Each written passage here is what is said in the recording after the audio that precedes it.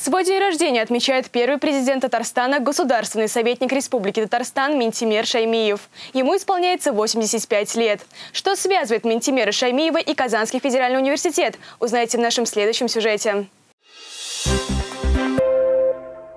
Первый президент Республики Татарстан имеет непосредственное отношение к развитию Казанского федерального университета. Благодаря инициативе Ментимер Шаймеева КГУ получил статус федерального университета, вошел в проект продвижения ТОП-500, что стало совершенно новым импульсом развития учебного заведения.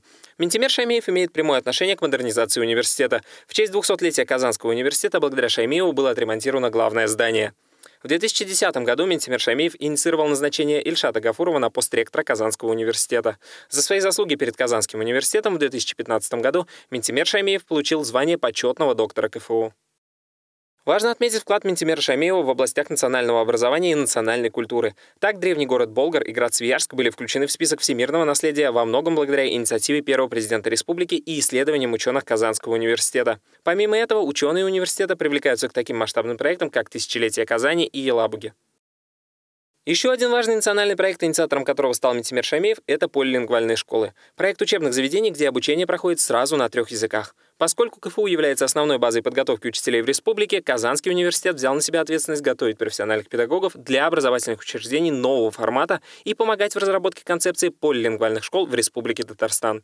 В период разработки проекта Ментимир Шамиев посетил Казанский университет, а конкретно Институт физики, Институт психологии и образования, Институт международных отношений и Институт филологии и межкультурных коммуникаций.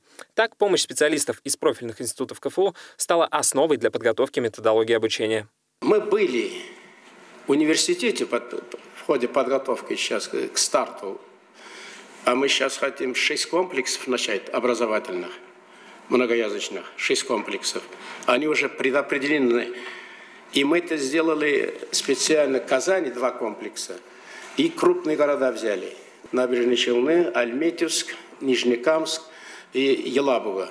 Напомним, что первого президента Татарстана с Казанским федеральным университетом связывает еще и астрономическая обсерватория имени Энгельгарта. Ученый Василий Энгельгард жил в Германии. Перед смертью он безвозмездно передал оборудование Казанскому университету и завещал похоронить его в Казани. Однако Первая мировая война и Гражданская война помешали осуществить это. Через сто лет, в 2014 году, на территории обсерватории по инициативе ректора Ильшата Гафурова было проведено перезахоронение Энгельгарта, в котором принял участие и Минтимер Шаймиев.